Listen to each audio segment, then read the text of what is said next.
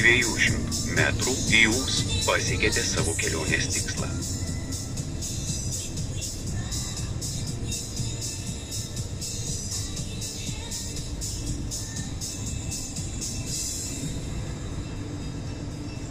Jūs pasiekėte savo kelionės tikslą.